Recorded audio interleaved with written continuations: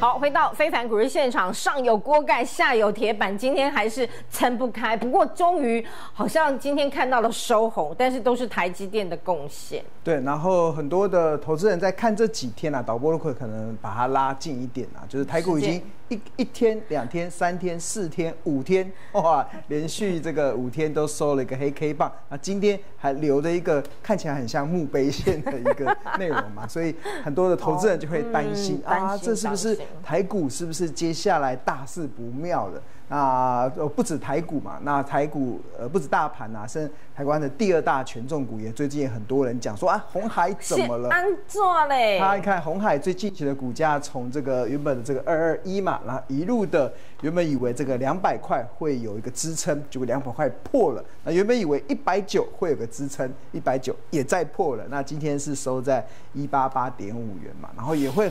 也会很担心，哎，红海是不是生病了？红海是不是该该该呃，应该说该去担心它接下来的走势嘛？那针对上述的这样子的一个呃呃看法，其实投呃，庆荣要告诉他，如果你有这种的观点，你真是了解投资人哎。对啊，我觉得红海，我我不敢在伤口撒盐，但是你了解投资人其实很焦虑，很焦虑。如果你会焦虑啊，那其实就代表其实你的。呃，基本功没有做好。哦，是是是是 是是。那如果你们会对大盘这段时间的一个稍微震荡一点，然后你就会焦虑啊，那就代表你的功课没有做好。那如果你的基本功一直都没有做好，你的功课一直没有做好，我唯一给你的建议啊，就是不要投资台股了，因为投投台股对你来讲太危险了，因为你永远用错误的方式去看待股票市场的波动。那投资的市场中，我们要看的是价值。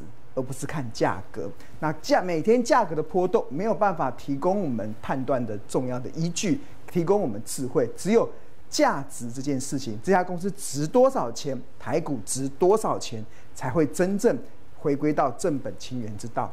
那最近的台股这样跌啊，其实我们真的不觉得有任何的一个意外啦，因为其实我们在三个月前，大家还记得我在上敏娟姐的节目，这是在二零二四年的九月十九号哦。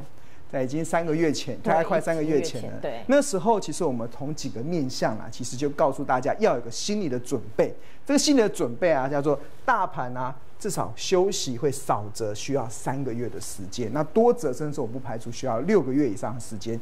然后，那在这段时间啊，投资人的投资的策略啊，叫做五个字，叫做存股等变天。对啊，那存股等变天，对啊。所以，如果你从这个日线的角度来看，你会觉得最近大盘好像有一点，呃，有点弱弱的，有点弱弱。但是大家如果从周线的角度来看，我们导播才看今年以来台股的周线。周线来瞧瞧。今年以来台股的周线，你看啊，很明显，台今年以来台股啊，上半年一路的从一万七千点走升到两万四千四百一十六点。当许多的投资人呢，在开始为它锦上添花，认为台股有机会。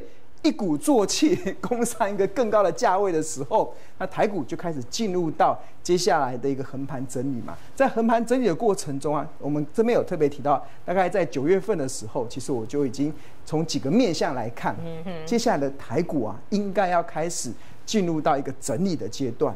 那这个整理也很正常啊，就是毕竟台股上半年已经涨成这样了，已经从一万七千点涨到两万四。那你会期？我不知道为什么投资人会有期待，对啊，有这种错误的期待，会认为无人之境，会认为股市会涨不停，对啊。我觉得这不知道是谁给你这样子的期待。我们导播我们在看红海，红海也是一样，从今年以来的周线图，它已经从一百块涨到两百三十四，已经涨一倍上去了。然后我不知道有谁给投资人这样的期待，认为一档即使是好的公司，它会。不断的涨不停，它好像不需要休息一样。哎，这样是两倍了哈。对，一倍了，一倍多，一倍对对，一百多趴这样子。一百多趴。然后，所以它这段时间开始进入休息的过程嘛。其实，在休息的过程中，其实就整个的呃，我觉得就。投资的角度来讲是很正常啊，那因为不可能它永远涨不停嘛，它一定需要休息嘛，就是休息都是为了走更长远的路，对啊，所以我觉得投资人真的不要太过短视尽力。我看到很多投资人在股票市场中伤痕累累，关键的原因就是太过短视尽力，永远只看这种每天几天的这种跌幅，你不去看整个的大格局，基本上格局确认了，你会对台股基本上会有一番的定见呐。好，那重新回来啊，其实我们刚刚有特别提到说，在九月份的时候有提到说，台股开始需要经历过这个休息至少三个月，然后存股等变天的过程嘛。当时其实我们从三个面向来提出看法，第一个就是台股已经合理反映它基本面该有的期呃指数的位阶。那我们当时是用这个呃 EPA，就是台股其实有机会在今年较二零二三年涨二十八。趴的情况之下，然后去年收在一七九三零，所以一七九三零乘上一点二八四，得出这个二三零二二，这个大概是二零二四年台股合理反映企业价值该有的一个指数的位阶。那这个指数的位阶来自于两个条件，第一个是来自于台湾企业获利的提升。那因为我们这个企业的获利。因为 AI 的订单的加持，跟去年同期相比，大概会成成长到两成左右。那另外，本益比也因为联总会有可能会降息四码，所以造成本益比提升的一个效果。所以获利上升了两成，然后本益比又因为联总会降息四码，然后所导致的本益比的提升，所以导致我们算出了这个二三零二二的这个指数位阶。那这个指数位阶大概就是符合台湾企业目前的。获利的条件之下，所该有的一个基本面的指数的一个位阶，所以台股来到这个位置，基本上就已经涨完了啦。那当然，未来有没有机会再往上一层楼？当然，我们后面会来跟大家解释。那除了这个理由之外呢，还有第二个理由，其实是呃，我们最近有观察这个台股呈现均线多头排列的加速啊，其实是不断的在走跌哦。那这个均线多头排列加速是包含了月线、季线、半线跟年线这四条均线。那一路的从九月六号的三百六十七家，这个这个资料在七呃今年上半年六月份的时候还有七百多家，啊就一路的往下快速的跌，九月六号来到三百六十七家。然后到十月十八号三二二，然后十一月一号三零八，十一月八号二九七，然后十一月十五号二七七，十一月二十二号二四零，然后十一月二十九号二二零，然后十二月六号二一零。那这个其实这个呈现均线多头的排列加速啊，不断的在往下走跌啊，就代表这一波的台股啊，在上涨的过程中是会比较虚一点的。既然如果虚。结构虚一点，那就需要好好补一下。那补一下就需要休息一下嘛。那所以整个台股这个均线呈现多头排列的加速，不断持续走跌过程中，其实是比较不利于啊台股可以出现像上半年这样子金金涨的行情。那这是第二个嘛。那第三个就是台股的月 K D 指标，我们来看一下月 K D 指标，其实已经悄悄的哦，在今年的七月份，呃，在月 K D。